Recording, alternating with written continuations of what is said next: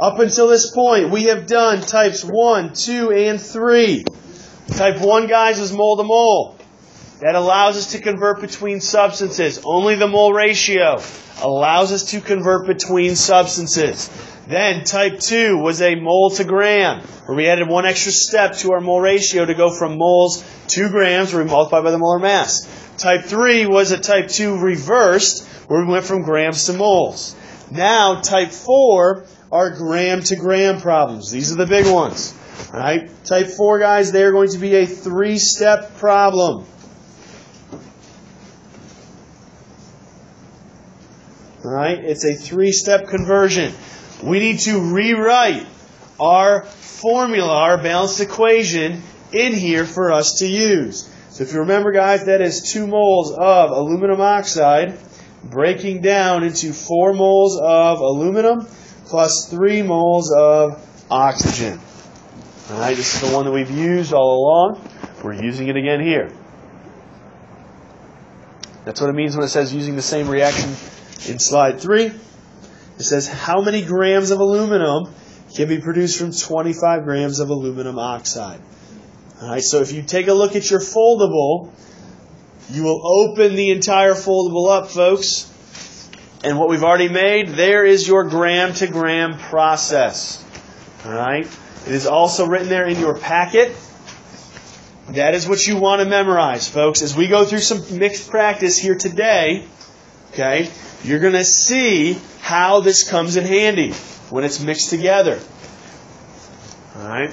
So, how many grams is what we're trying to get to? That's my wanted. My given is right here. So we're going to start with that. 25 grams of aluminum oxide. We know it's going to be a three-step problem. So let's write it out to look like this. Is a long one.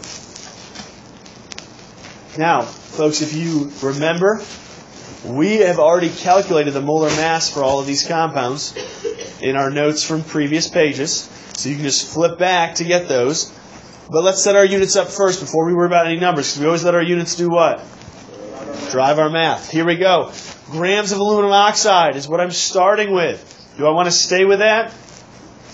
No. So here's one thing. Before we go into that, like I've mentioned before, guys, with a type 2 or 3, how you know it's going to be a two step problem with those is because you're going from moles to grams and you're going from substance to substance. How you know this is going to be a three step problem is because we're going from grams to grams and substance to substance. Substance to substance we know is a one step problem. That's a mole to mole problem. But grams to grams, guys, we can't compare those directly. We have to go from grams back to what first? Moles. Then we'll switch substances. Then we go from moles back to grams. So when you see grams to grams, you know it's a three step problem. When you see moles to grams, guys, so if you don't see the term mole in there, you know it's going to be a three step problem. If you see the term mole, if it's mole to gram, it's two steps, or gram to mole. If it's mole to mole, it's one. Alright, so those are just little tricks that may help you when we get into mixed practice later today. Here we go. Grams of aluminum oxide are on the bottom. So that will allow us to go back to what?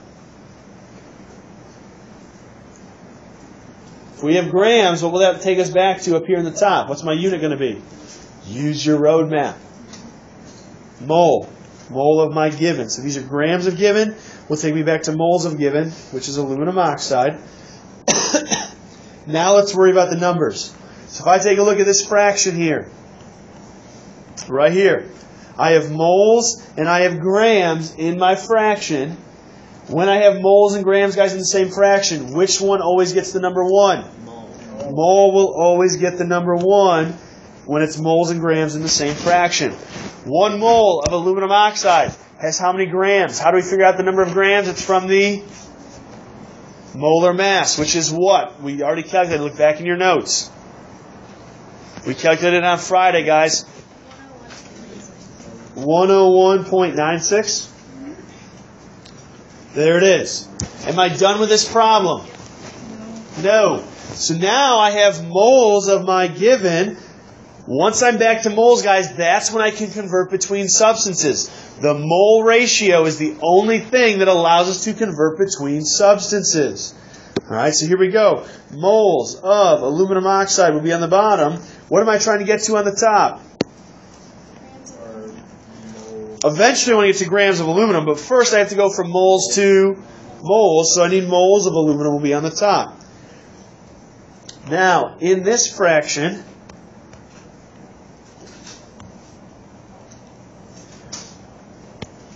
in this fraction right here, I have moles of one substance and moles of the other. What is this fraction, guys? It's my it's my mole ratio right in here.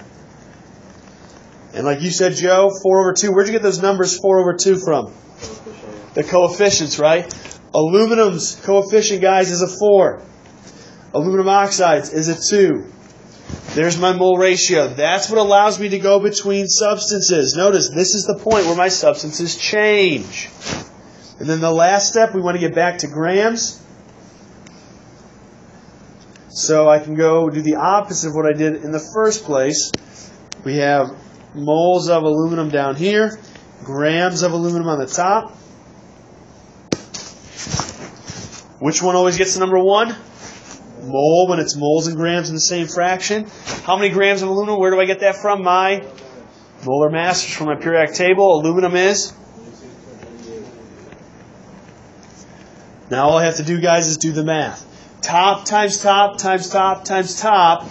Divide by bottom, divide by bottom, divide by bottom, divide by bottom, guys. That will get you the correct answer every single time. You plug in your calculator. Yes, there's other ways you can plug it in your calculator.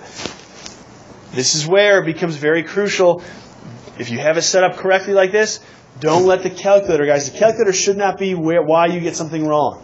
It happens. We all make calculator errors, but take your time when you're punching those in. You know the numbers stick sometimes. Take your time. Can we reduce this at all? Yes. Absolutely, guys. We can reduce the 4 and the 2 to 1 and 2. So really, take all the tops. 50, because 25 times 2 is 50, times this 27, and then divide by that. Go ahead and do the math and tell me what you get. Said 52 point what? I got, I got thirteen point twenty-three. Yeah, 13 sounds is what you should have there. If you didn't get that, double check it. 13 point what? Um. Two decimals, guys, is a good place to go to, unless you're asked for correct sig figs. So, as a review, since our semester test will be coming up in February, how many sig figs should we report this to? What do we look back at? The given, guys, your original number. So, our original number was 25 grams. How many sig figs is in 25? Two. So, how many should we report this to if we're going to correct sig figs? Two. What would it be to- reported to correct sig figs? it would just be 13 grams of aluminum. If we were asked, guys, if you're not asked for correct sig figs, two decimal places is a good rule of thumb. So let me ask this. Here is the gram to gram, guys, the big one, right, the one that we've been building up to all year long. The math. Is the math anything new to us? No, guys, we've taken all of these individual pieces. If I were to cover up these last two fractions going between grams and moles, that's from unit 6. Over here, these last two fractions, guys, that's unit 6. This one in here, mole ratio, that's the new piece. All of it together is what makes this more challenging. What you've got to remember to do is you've got to have your units. Units become crucial here. Not only just moles and grams, okay, but the substances, because we're going between substances. You've got to have your units. If you have been good all year long about writing all your units down, this unit, guys, unit 8 straight stoichiometry is going to be super easy. It's not going to be that bad. But if you have struggled with units all year long, if you haven't done that, it will be a challenge for you. Questions about this problem? I believe you guys have an example problem there in your notes. I want you guys to do that example problem on your own.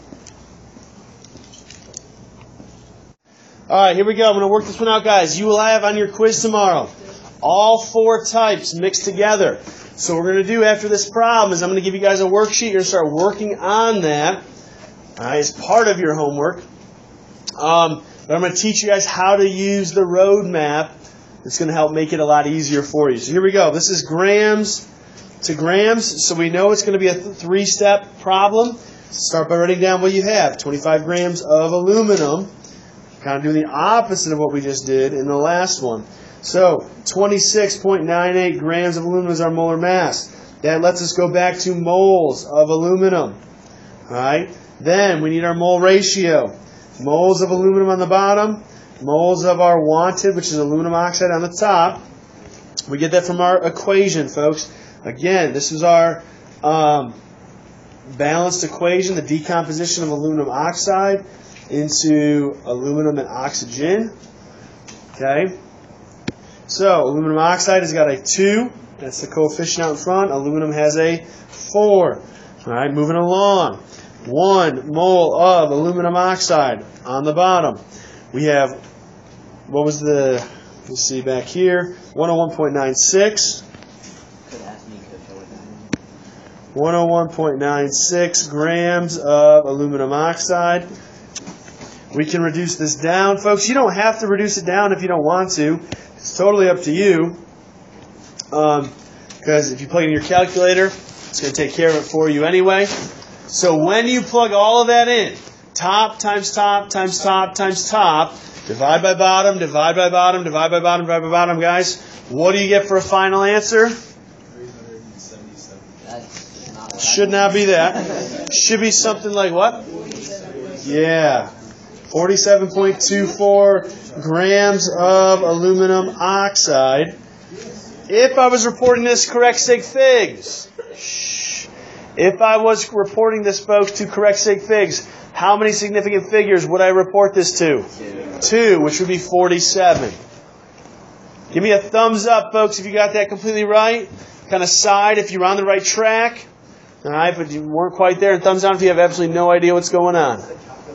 Okay, again, that's why, guys, you've got to show your work as much as possible because it's very easy to make a simple calculator error. If you have it all set up perfectly, you're going to get pretty much all the credit.